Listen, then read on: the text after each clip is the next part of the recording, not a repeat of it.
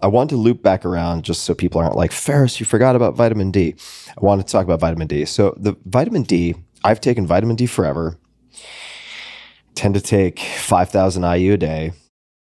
I, particularly in the summer, get, I would say, at least an hour in the sun without skin protection. And I built up to that. I'm not an idiot about it. And yet, I am barely in my labs, I'm always barely squeaking by on vitamin D. And for almost all of my adult friends who get labs, and this is also race agnostic, right? Everybody is deficient or just on the border of being deficient, even if they seem to be taking a lot of supplemental vitamin D and getting a lot of sunshine. And I have to ask myself, what the hell is going on here? In what set of circumstances is it possible that everyone would be so deficient if they seem to be getting a bunch of sunlight? They're taking a bunch of supplemental vitamin D. Can you shed any light on this? I can. Or is there a problem with this measurement in the first place, which is why I was talking about like proxies and confounders and stuff earlier with respect to some of the other studies? Yeah, so please, please educate me. the way vitamin D is measured, so vitamin D actually gets converted into a steroid hormone. Mm-hmm. And this steroid hormone essentially it's going inside the nucleus of our cells where all of our DNA is and it's activating 5% of the protein encoding human genome. Many of these genes, it activates Klotho, by the way. You mentioned Klotho. Yeah. Vitamin D is important for activating Klotho. Nice. Yeah. So, very hugely important for dementia risk, which we, could, we can talk about. But to sort of answer your question, so your vitamin D levels are measured by a proxy, and it's called 25 hydroxy vitamin D, which is the precursor to the steroid hormone. Mm-hmm. So essentially, vitamin D3, which is made in your skin, or if you supplement with it exogenously, gets into your bloodstream. And that vitamin D3 then goes to the liver and it's converted into 25 hydroxy vitamin D. That's the major circulating form of vitamin D. Mm-hmm. After it's, you know, 25 hydroxy vitamin D is made in the liver, it then goes to the kidneys and it's made into the actual active steroid hormone, which is called 125 hydroxy vitamin D. Well, it turns out the enzymes that are doing the conversion of vitamin D3 into that stable form that everyone gets, you know, when they're getting a vitamin D blood test, that's what they're looking at, requires magnesium to work. Mm. And there have been studies showing that in, with low magnesium, it doesn't happen readily at all. Interesting. 50% of the US population has insufficient levels of magnesium. So you're talking about a coin toss here, right? One out of two, one out of two, right? Mm-hmm. 50 50 chance a person's not going to be getting enough magnesium. That's been shown to actually play a role in circulating levels of vitamin D. So mm. there have been NHANES studies and stuff showing that people that are that have low magnesium intake also have low circulating forms of 25 hydroxy vitamin D.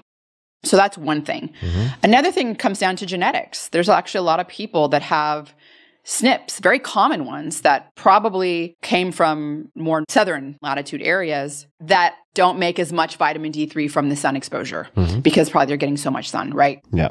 So essentially, there's the genetic component as well. And I've seen a lot of people's, you know, different SNP makeups. And I know quite a few people that actually have to take a super high level of vitamin D3 to actually get enough vitamin D.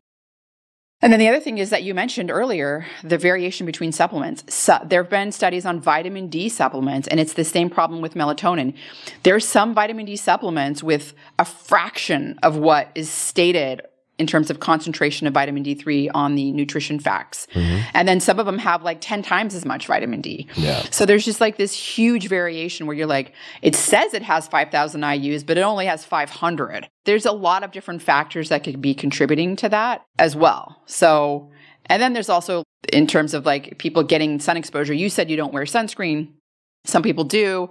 People that have darker skin pigmentation have melanin. That's a natural sunscreen. There have been studies showing that for example, out of the University of Chicago, there was a study that was published a few years back showing African Americans have to stay in the sun six to 10 times as long as a Caucasian to make the same amount of vitamin D3 mm-hmm. from the same amount of sun exposure because they have a natural sunscreen. Yep. Melanin, which is that darker skin pigmentation. It's a natural sunscreen. Mm-hmm. It's also why their skin always looks great as they're aging. You're like, oh, you're 75. Your skin looks like you're 30. I remember, I won't mention him by name, but meeting this this African American fellow, And I thought he was like 25 and he was 53 and had like five because and the way we got to that is I was like, "Oh, you are you married?" And he's like, "Yeah, five kids." And I was like, "Wait, what? You have five kids?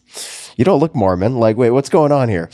and lo and behold, let me dig into some of this real quick. So, recommended brands for vitamin D and how much should someone like me potentially be taking as a starting point because I'm also wary of taking too much vitamin D. I don't want to overdose on vitamin D. It seems like there are some risks associated with that. I, uh, maybe I'm over overstating them.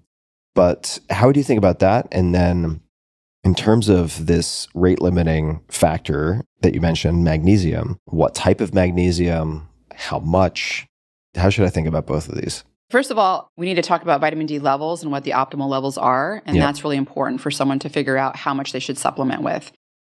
I tend to think anywhere between 40, 60 to 80, like 40 to 80 nanograms per mil, you're, you're in an optimal range. I like 40 to 60.